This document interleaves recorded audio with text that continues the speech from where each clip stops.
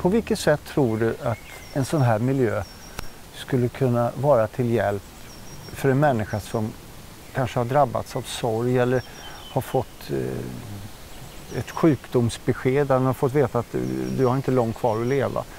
På, på, på vilket sätt tror du att det här kan skapa ett lugn att, inför döden? Klart att det, det, där är vi ju människor väldigt olik. Men jag tror ju ändå att har du ett visst mått mätt av dagar kvar så kanske du måste också få ro med dig själv. Mm. Och sätta sig här och se på det som, det som egentligen inte är. Men som är allt. Ja. Du har fåglarna, du har luften, du har tystheten, du har bruset, du hör vinden. Du kan verkligen bli ett med vår skaper. Mm. Och det. Du har ju mött många, jag har ju, som präst har ju haft många samtal med, människor som har upplevt nära döden och att vissa som har varit döda så att säga Mm. och kommit tillbaka. Mm. Och samtliga som jag har träffat det säger det infaller sig ett lugn. Mm. De känner efteråt att Jonas säger, jag är inte längre rädd för att dö. Och, och du har ju jobbat inom sjukvården, har du liknande erfarenheter? Ja, det får jag lov att säga. Jag brukar oftast, jag sa, jag sa oftast att jag har döden som arbetskamrat. Mm. För han, han kommer och är människor som kanske har levt ett långt liv, kanske har krämpor och så här och är lite plågad utav vissa krämpor. Den dagen då vår Herre hämtar hem dem så blir det ett väldigt fint lugn över, över ansiktet och alla bekymmersrynkor slättes ut Ja. och du får nästan ett litet leende. Mm. Och där är, jag menar att det, det är hem, det är fram. Och det är ju fint man tänker så, men sen har vi ju andra fall. Andra fall. när man absolut. dör väldigt unga år. Och det, då kommer de här frågorna varför. Mm. Och det finns det ju egentligen inget svar på. Ja, och man kan aldrig säga att det var meningen. Det kan man ju Nej, aldrig någonsin. Det är ingen mening med det. är bara det är tragiskt och, och, och det är fruktansvärt det som har hänt och, och man får, det får ta den tid det tar. Varje dödsfall som sker är en sorg, saknad, en förlust.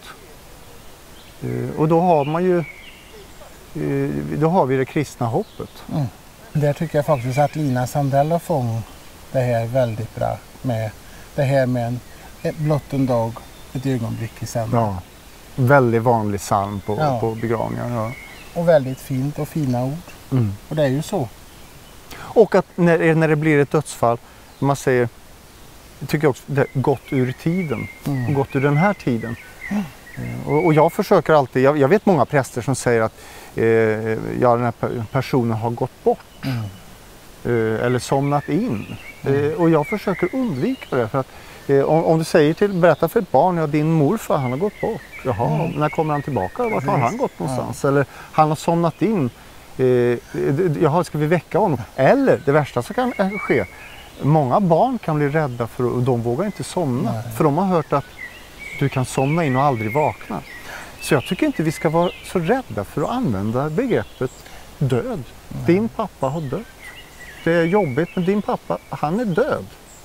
Och där tror jag Jonas faktiskt att där har vi en styrka vi som bor på landsbygden som har varit med om det här liv och död i allt.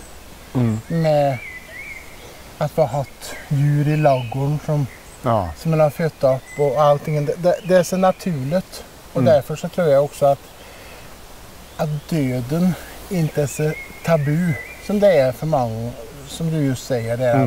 att, att man använder så många ord eller säger att vi har rest bort, det väl ända värre. Mm. När kommer de hem tillbaka då? Vi som lever är bara de döda på semester.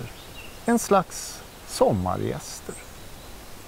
Det vill säga vi ska hem en dag. Vi ska hem en dag. Och vart detta hem är, Ja, det får vi se Jonas, ja. när våran tid kommer. Har du någon skog i din himmel, du Gud, ta gå i en fin en kväll. En tack om det är gammal skog du vet med smörsopp och kantaväll.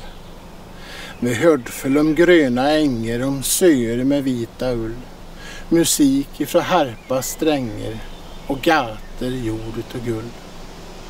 Men jag skulle nog inte trivas med det där du Gud. Du vet, jag är blyg och rädd. Och det låter så fint på något vis du Gud. Men jag är inte tackomklädd. Kanske du tycker att jag targer och frågor. Men det här är noga för mig. Fast släpper jag undan illbrand och plågor ska jag ta det som det är åt dig.